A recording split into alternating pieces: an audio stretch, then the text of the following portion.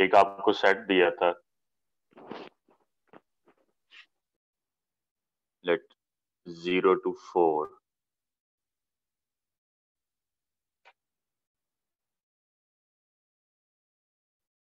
इसका करना था। ज़ीरो टू फोर का।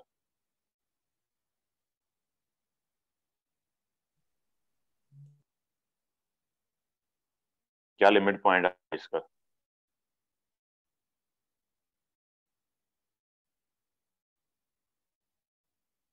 सर ये वाला नहीं हुआ था नहीं हुआ, चलो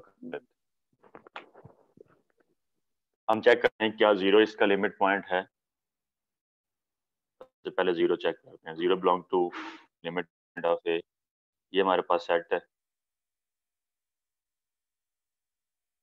ज़ीरो टू फोर ये सेट हमारे पास। हम चेक करते हैं सबसे पहले क्या ज़ीरो लिमिट पॉइंट है। अब ज़ीरो लिमिट पॉइंट कब होगा? जब ज़ीरो को कंटेन करने वाले हर ओपन सेट में से ज़ीरो को माइनस करने के बाद ए के साथ इंटरसेक्शन नॉन एम्प्टी आएगी। लेट मैंने छोटा सा ओपन सेट लिया जो कि ज़ीरो को कंटेन कर रहा है। लेट ओपन सेट आ इससे मैंने ज़ीरो को माइनस कर दिया। अब ज़ीरो माइनस करने के अलावा भी आप देख सकते हैं कि ये ज़ीरो से आगे वाले ने इंटरवल राइट साइड से क्लोज किया हुआ है।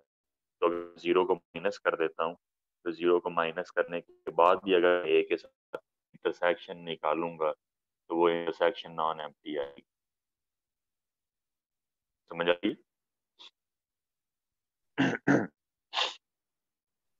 सिमिलरली अगर मैं फोर पे फोर को कंटेन करने वाला एक छोटा सा ओपन सेट लूँ इस ओपन सेट में से अगर मैं फोर को माइनस कर दूँ, फोर को निकाल दूँ तो फोर को निकालने के बाद जो ये लेफ़्ट साइड तरह इंटरवल है, इसके अंदर भी नंबर हुए हैं फोर के अलावा जो है तो उस ओपन सेट की जब इंटरसेक्शन हम ए के साथ करें, वो नॉन रहेगी। ठीक? तो ज़ीरो भी इसके लिमिट पॉइंट में चला जाएगा, ए भी इसके लिमिट पॉइंट में चला जाएगा, और अंदर वाले जो पॉइंट्स होंगे, वो तो डेफिनेटली इसके लिमिट तो इसका जो लिमिट पॉइंट होगा, ये ज़ीरो से फोर ये इसका लिमिट पॉइंट है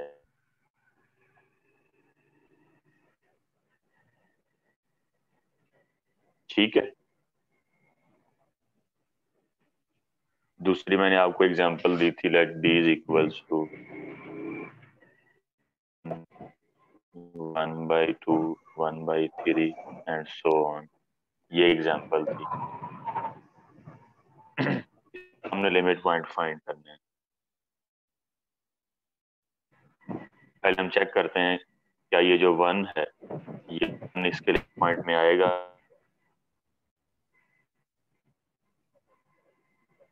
One belongs to limit point of B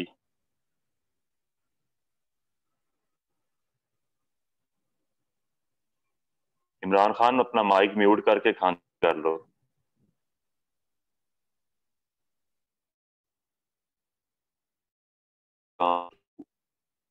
हमने चेक करना है वन बी का लिमिट पॉइंट में बिलोंग करता है। तो हमारे पास इस इस तरह पड़ा हुआ है लेट या one one by two one by three and so on इसी तरीके से ये सेट जा रहा है, और ये ज़ीरो पीछे तक, ये सारे हमारे पास नंबर पड़े होंगे। हम चेक करना चाह रहे हैं क्या ये जो वन है, वन एक बी के लिमिट पॉइंट आ रहा है? वन बी के लिमिट पॉइंट में कहा आएगा? जब वन को कंटेन करने वाले हर ओपन से वन को मिस करने के बाद इंटरसेक्शन निकाली, इसको वो नॉन है। लेट मैंने वन को कंटेन वाला ये छोटा सा ओपन सेट लिया अब इस ओपन सेट में से मैं वन को माइनस कर इस ओपन सेट में से अगर मैं वन को माइनस कर दूँ उनको माइनस करने के बाद हम देख सकते हैं कि इस बीम इस बीम और इस ओपन सेट में कोई कॉमन नहीं। बी का सिर्फ़ वन ही है इस ओपन सेट में हुआ है। अगर मैं इस ओपन सेट में से वन को निकाल तो और इस ओपन सेट में कॉमन कुछ भी नहीं आएगा यानी वन इसके लिमिट पॉइंट में नहीं आएगा सिमिलरली अगर मैं वन बाई टू की बात करूँ वन बाई टू को कंट करने वाला छोटा सा ओपन सेट छोटा क्यों ले रहा हूँ? बात तो नहीं है। बड़े पे ट्रू होगी, मसला छोटे open set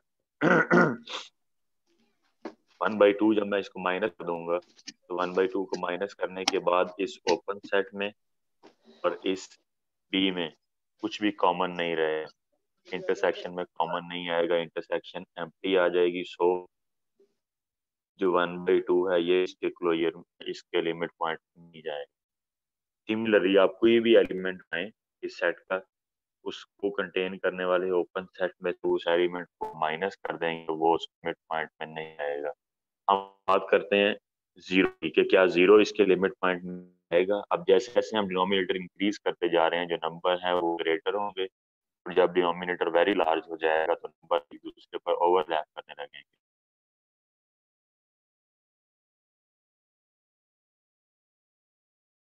कर रहे हो, दूसरे के बहुत ज़्यादा क्लोज होंगे। तो अगर मैं ओपन सेट छोटा भी लूँ, उसमें ज़ीरो को माइनस भी कर दूँ तो ज़ीरो को माइनस करने के बाद डेफिनेटली यहाँ पे ना कोई नंबर ऐसे पड़े होंगे जो बीच में कॉमन होंगे। सिर्फ़ जो ज़ीरो होगा, ये इसके लिमिट पॉइंट में आएगा। और कोई सेट इसके लिमिट पॉइंट नहीं आए।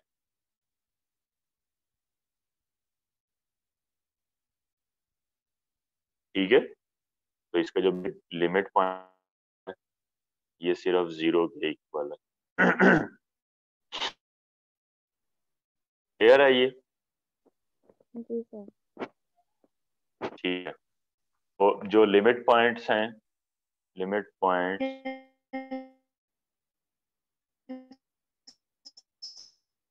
are also called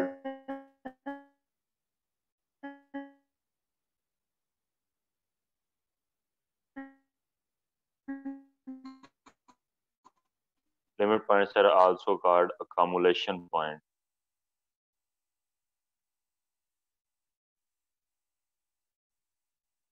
इनको हम अकामोलेशन पॉइंट्स भी कहते हैं, जो लिमिट पॉइंट्स होते हैं these are also called accumulation point a set consisting of all the limit points of A is called derived set of A and is denoted by AD ऐसा set जिसमें A के सारे limits point पड़े होंगे, उस set को ए का drive set कहते हैं और उसको ए डी से रिप्रेजेंट करते हैं।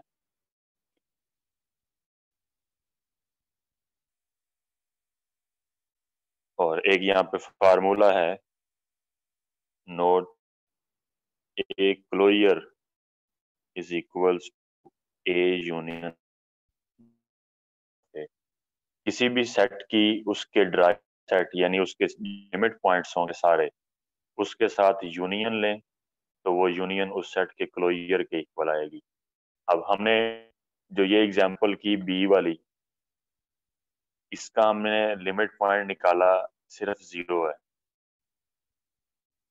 इसका हमने लास्ट टाइम क्लोयर निकाला था, इसका क्लोयर क्या आ रहा था? ये सेट आ रहा था और साथ इसके ज़ीरो भी था। तो इस सेट के अंदर अगर ज़ीरो डाल दिया जाए तो वो क्लोयर के इक्वल इस सेट के अंदर अगर इसका लिमिट पॉइंट डाल दिया जाए तो आपको जो आंसर मिलेगा वो क्या मिलेगा? वो इस सेट का क्लोजर मिलेगा। ठीक है? जी सर तो लिमिट पॉइंट की एग्जांपल्स क्लियर हैं? नेक्स्ट मूव करें फिर। जी सर ठीक है।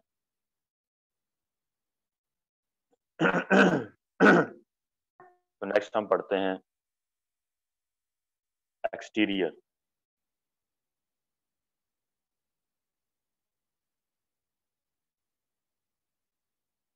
हमने पहले इंटीरियर पढ़ा क्लियर पढ़ा, उसके बाद हमने लिमिट पॉइंट्स पढ़े, अब हम देखते हैं एक्सटीरियर के बारे में. Let as the uh, topological space and let A is subset of X, then interior of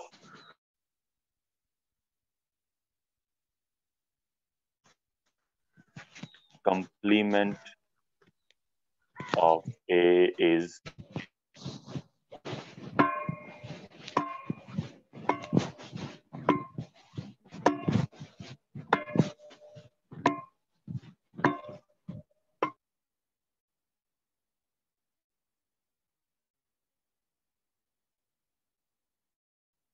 then interior of complement of A is exterior of A.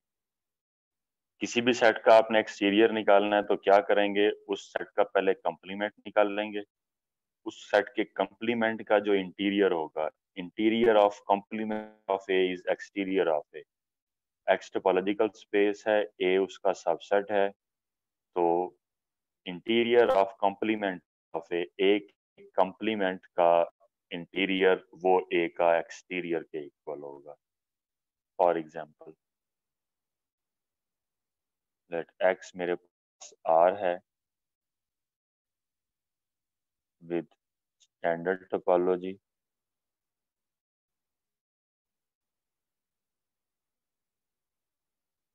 A set मैंने लिया ज़ीरो वन और इसको हम लिखते हैं denoted by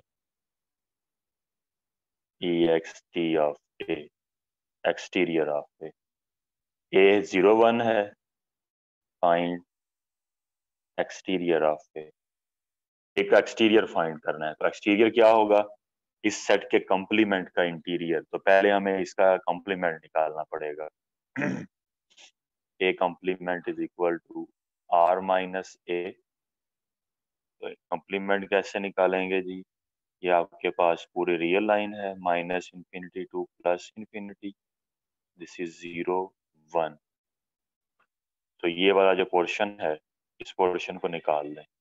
तो आपके पास मिलेगा माइनस इन्फिनिटी से ज़ीरो अब ज़ीरो सेट में इंक्लूड नहीं है तो कम्प्लीमेंट में आ जाएगा। यूनियन वन सेट में नहीं है तो कम्प्लीमेंट में आ जाएगा वन टू प्लस ये आ गया ए का कॉम्प्लीमेंट इस कंप्लीमेंट का हमने इंटीरियर निकालना है तो इसका जो इंटीरियर होगा, वो ए का एक्सटीरियर होगा। एक कंप्लीमेंट का इंटीरियर इंटीरियर में देखा था कि अगर आपके पास इंटरवल है तो हम सिर्फ़ बाउंड्री पॉइंट्स को चेक करते हैं, अंदर वाले तो आएँगे ही तो हम बाउंड्री पॉइंट्स को चेक करते हैं। माइनस इन्फिनिटी है, ये तो वैसे ही आ जाएगा, इसको चेक करने की ज़रूरत नहीं। हम करते हैं क्या ज़ीरो इंटीरियर में आएगा। इंटीरियर की क्या डेफिनेशन थी कि एक एलिमेंट एक्स वो ए के इंटीरियर में आएगा। अगर एक एक्स को कंटेन करने वाला जो ओपन सेट है, वो ए का सबसेट हो। तो ज़ीरो को कंटेन करने वाला जो ओपन सेट होगा, उसके अंदर ज़ीरो अगले एलिमेंट पड़े होंगे सो वो का सबसेट नहीं बनेगा। तो ये ज़ीरो पर आ जाएगा ओपन इंटरवल यूनियन एस ऐसी सिमिलरली वन पर ओपन प्लस इन्फिनिटी ये पहले भी डिस्कस हो चुका है हमारे जब हम इंटीरियर फाइंड करते हैं तो इंटरवल कोई भी हो वहाँ पर इंटीरियर का जो आंसर निकलता है वो उसमें ओपन इंटरवल ही होता है। तो ये ए कंप्लीमेंट इंटीरियर आ गया this is exterior of A ठीक है?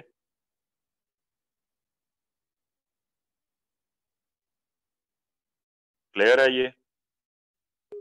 जी सर यस सर ठीक है हम नेक्स्ट चलते हैं। नेक्स्ट डेफिनेशन की तरफ़।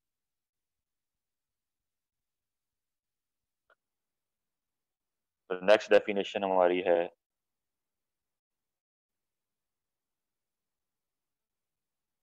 बाउंड्री ऑफ़ सेट किसी सेट की बाउंड्री निकालना।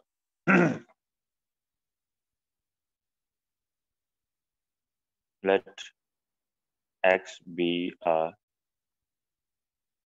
topological space and A is subset of X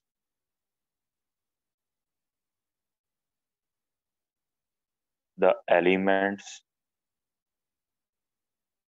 of x which are not in interior of a and exterior of a are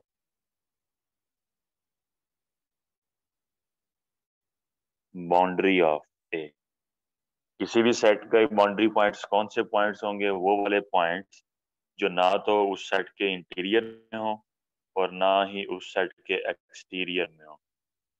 topological space के वो वाले points जो ना सेट के interior में हो और ना ही सेट के एक्सटीरियर में हो। जैसे अभी हमने ये ऊपर वाली एग्जांपल की, हम इस सेट की, इस सेट के बाउंड्री पॉइंट्स निकालते हैं। मेरे पास ए था ज़ीरो वन। अगर का इंटीरियर निकालूं इंटीरियर यही आ जाएगा, ये सेट ओपन है। हमने थ्योरम पढ़ा था कि अगर कोई सेट ओपन हो तो उसका जो इंटीरियर है वो उसी के इक्वल होगा। ये सेट आर में ओपन है तो इसके जो इंटीरियर है वो यही होगा। X is equal to R with standard topology ये इसका इंटीरियर आ गया। दूसरे नंबर पे हम निकालते, निकाला हमने एक्सटीरियर पे।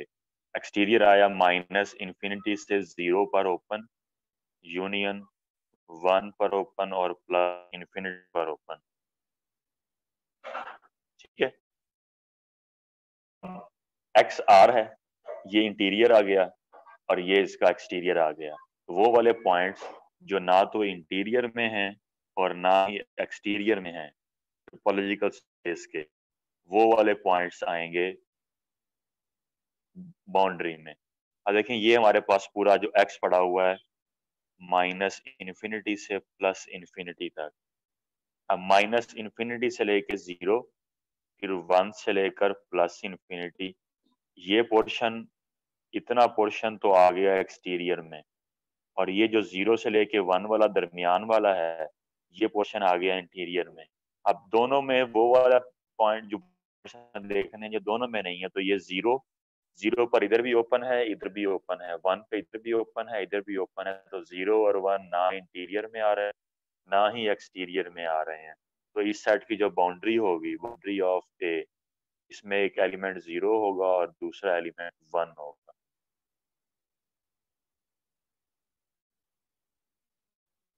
ये एग्जांपल समझ आई कि बाउंड्री कैसे निकालेंगे? Yes sir. तो अगर आपने किसी एग्जांपल कर कर लेते हैं कर लेते हैं। अगर आपने किसी सेट की बाउंड्री निकालनी है तो क्या करना पड़ेगा आपको? आपको पहले उसका इंटीरियर निकालना पड़ेगा फिर उसका एक्सटीरियर निकालना पड़ेगा और ऐसे पॉइंट्स जो ना तो इंटीरियर में होंगे ना एक्सटीरियर में होंगे वो पॉइंट्स बाउंड्री पॉइंट्स कहलाएँगे। यहाँ पे एक और चीज़ मेंशन कर लेते हैं हम। Denoted by B of A हम एग्जांपल एक और करते हैं। उस एग्जांपल में हम हर चीज़ निकालते हैं। Interior exterior closure limit point और boundary points boundary let X मेरे पास सेट है। ए बी सी डी तो मैंने लिया I X A B C D A B C D ये एक्स एम्प्टी सेट आ गया। ये मैंने एक इस पर टोपोलॉजी बना ली। मैं सबसे पहले मैं एक सेट ए लेता हूँ जी। Let A is equal to B C D E ये मेरे पास ए है। अब इस ए का मैंने इंटीरियर भी निकालना है? Find A interior A closure exterior of A derived set of A boundary of A ठीक है इंटीरियर भी निकालना है क्लोयर भी निकालना है एक्सटीरियर भी निकालना है। इसके लिमिट पॉइंट्स भी निकालने हैं, इसकी बाउंड्री भी फाइंड करनी है। जो जो हमने डेफिनेशन की हैं, हम इस सेट पे सारी अप्लाई करते हैं। सोल्यूशन ए इंटीरियर अब अगर तो कोई सेट ओपन हो तो उसका इंटीरियर उसी सेट के इक्वल ये सेट ए ओपन नहीं है तो मतलब इंटीरियर इसके इक्वल नहीं आएगा। हम फिर इंटीरियर की डेफिनेशन पे चले जाते हैं। इंटीरियर की डेफिनेशन क्या थी? Union of open sets contained in A आप देखेंगे ये ओपन सेट पड़े हुए हैं। इसमें कौन सा ओपन सेट ऐसा है जो ए के अंदर पड़ा हुआ है? ए के अंदर पड़े होने का मतलब कि कौन सा ओपन सेट ऐसा है जो ए का सबसेट है? तो वो सिर्फ़ हमें एक ही नज़र आ रहा है, ये वाला सेट ये सब सेट ए के अंदर पड़ा हुआ है। सो जो इंटीरियर होगा, ये होगा बी सी डी ये इस सेट का इंटीरियर होगा। क्लियर है?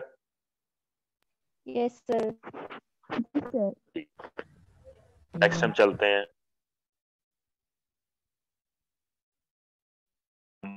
इस सेट का क्लोयर निकालते हैं अब क्लोयर क्या था? क्लोयर में हमें क्या चाहिए होते हैं?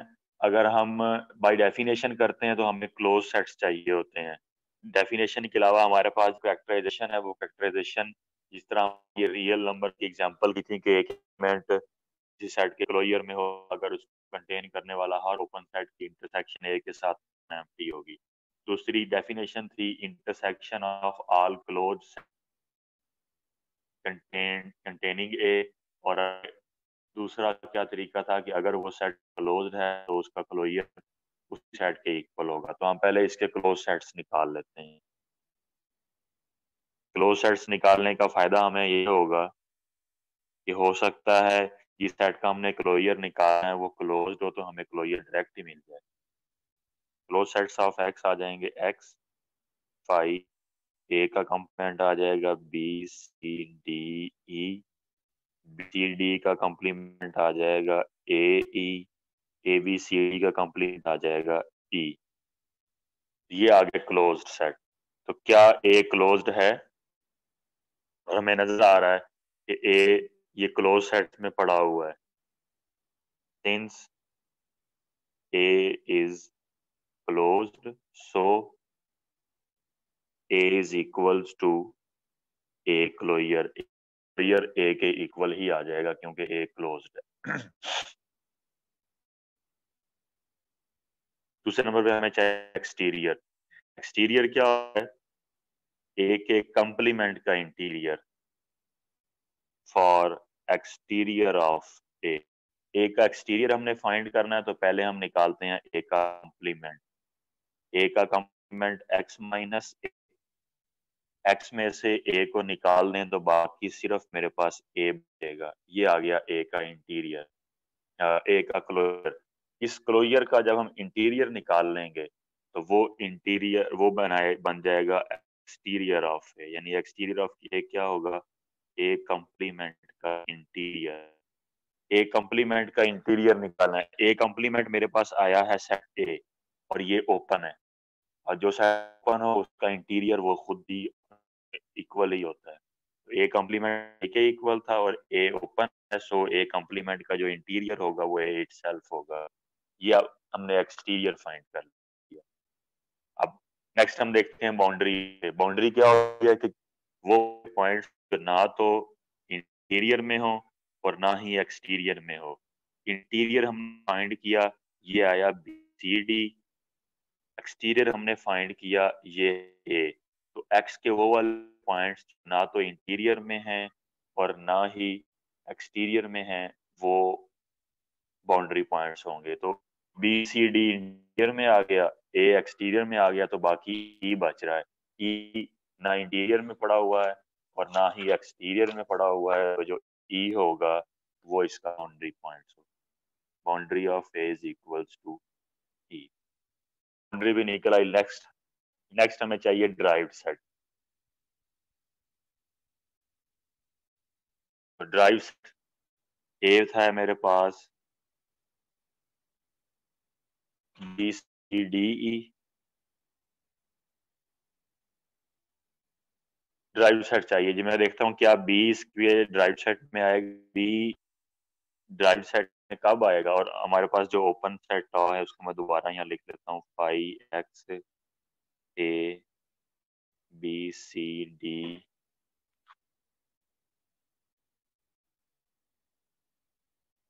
A B C D हम देखते हैं, क्या बी ड्राइव सेट में है? बी ड्राइव सेट में कब आएगा? जब बी को कंटेन करने वाले हर ओपन सेट में से बी को माइनस करने के बाद ए के साथ इंटरसेक्शन लें तो वो नॉन एम्प्टी आए। तो ओपन सेट जो बी को कंटेन कर रहे हैं open sets containing B R, B C D, A, B, C, D ये दो ओपन सेट हैं और X भी है। जो कि बी को कंटेन कर रहा है। अब, अगर हम इनमें से बी को माइन करते हैं तो हम देखते हैं ए के साथ इंटरसेक्शन नॉन एम्प्टी है। अगर मैंने इसको में से बी को निकाल दें डी बच रहा है, इसकी इंटरसेक्शन ए के साथ लें नॉन एम्प्टी इसमें से बी को निकाल दें ए सी डी बच रहा है ए के साथ इंटरसेक्शन लें नॉन एम टी एक्स में बी को निकाल लें तो बाकी बच जाएगा A C D intersection non empty so जो बी होगा ये ए के ड्राइव सेट में चला जाएगा। सिमिलरली हम सी को चेक करते हैं कि क्या सी ए के ड्राइव सेट में है। सी ए के ड्राइव सेट में कब होगा?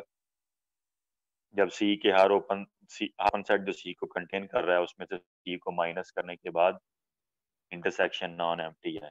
तो ओपन सेट्स जो सी को कंटेन कर रहे हैं कंटेनिंग सी आर कौन कौन से हैं जी? एक्स है। बी सी डी है और ए बी सी डी है। इसमें से सी को माइनस करने के बाद इंटरसेक्शन निकालें नॉन एम्प्टी सी को माइनस करने के बाद इंटरसेक्शन निकालें ए के साथ नॉन एम्प्टी सी को माइनस करने के बाद ए से इंटरसेक्शन निकालें नॉन एम्प्टी सो सी भी ड्राइव सेट में चला जाएगा। सिमिलरली जो डी है, वो भी ड्राइव सेट में चला जाएगा। ऐसे ही जो ई e है, वो भी ड्राइव सेट में चला जाएगा।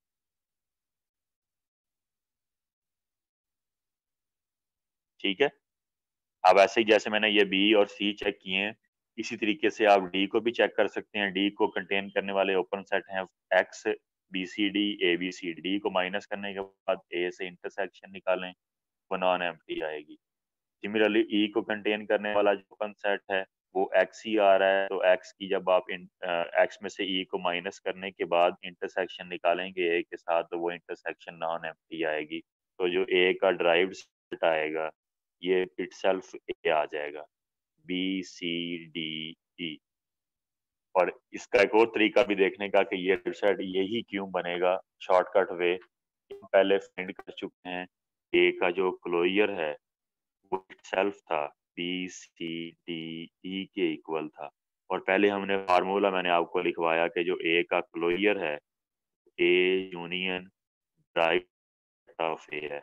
अब क्लोयर तो हमने फाइंड कर लिया कि ये इट ए ही है बी सी डी ई इस ए की वैल्यू भी हमारे पास है B C D E union यहाँ पर मैं ऐसा कौन सा सेट लूँ कि जब मैं यूनियन ए के साथ फाइंड करूँ, इस सेट के साथ फाइंड करूँ तो आंसर मुझे ये मिलेगा तो दो ही पॉसिबिलिटीज या तो यहाँ पर एम्प्टी सेट आ जाए, या यही इट सेट आ जाए। एम्प्टी सेट हमारे पास आ नहीं सकता लिमिट पॉइंट फाइंड करना है फाइनाइट सेट तो ये ए सेल्फ आएगा। तो इसलिए आप डायरेक्ट भी यहाँ से बता सकते हैं कि अगर आपने पहले क्लोयर निकाल लिया हुआ है तो वहाँ से हम आइडिया लगा सकते हैं कि हमारा जो क्लोयर जो ड्राइव सेट होगा क्या बनेगा। हाँ जी क्लियर हैं ये एग्जांपल्स यस सर तो यहाँ पर हमारा यहाँ पर हमारा जो टॉपिक है लिमिट पॉइंट्स वगैरह limit point exterior point boundary closure interior ये क्लोवर तो नेक्स्ट हमारा टॉपिक बेस का है, वो फिर हम कल स्टार्ट करें